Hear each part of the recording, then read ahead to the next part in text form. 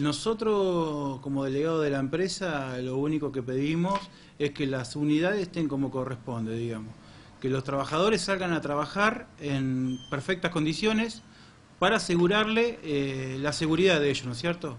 Y bueno, eh, los camiones que no estén en condiciones no están saliendo a laburar, pero no es por una medida gremial, sino es una medida que los trabajadores, por seguridad de trabajadores nada más, que no salgan a trabajar en las condiciones que están las unidades. Hay unidades que tienen problemas con los trenes delanteros, es un peligro en la ruta, hay unidades que tienen problemas con el embrague, con las cajas de cambio, eh, hay muchas, eh, el rodado no está en condiciones, pero es una seguridad que, los mismos choferes eh, la están planteando para por seguridad de ellos nada más. Y hay un promedio de cuatro camiones, cinco se arreglan, se vuelven a romper, se vuelven a reparar, digamos, hay una deficiencia bastante importante con las unidades.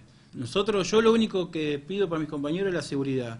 El tema de la unidad la tendría que arreglar la empresa, digamos, no sé si tendrán los repuestos, cómo será el tema, pero ellos son los responsables de que las unidades estén en condiciones nada más. Nosotros pedimos por la seguridad de nuestros compañeros, digamos los choferes no están de acuerdo en las unidades, como están las unidades, entonces no salen en esas unidades.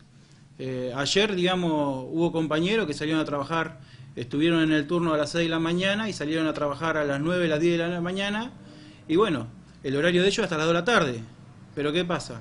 Se extiende hasta las 6, 7 de la tarde y los muchachos están de las 6 de la mañana hasta las 7 de la tarde, son 12 horas. Te puedes imaginar que la otro día que levantarte otra vez a las 4 de la mañana para empezar el otro turno y, no dan, colaboran con cuatro horas extras, más de eso no pueden colaborar. El turno de la mañana ayer quedaron recorridos, el de la noche se terminó toda la que es parte céntrica y tengo entendido que hubo lugares como Villa Rosa, como Loma Paraguaya, como Villa Delfina, que hubo, sí, que, no terminaba el recorrido, que no terminaba el recorrido porque por el horario, digamos, de las 6 de la mañana hasta las 7 de la tarde, estás hablando que tenés 13 horas, es mucho. Pero estos camiones tienen computadoras las cuales hay que insertarle una computadora a los camiones para averiguar cuáles son los errores y a su vez eh, sacarle los errores a la computadora, si no los camiones siguen fallando.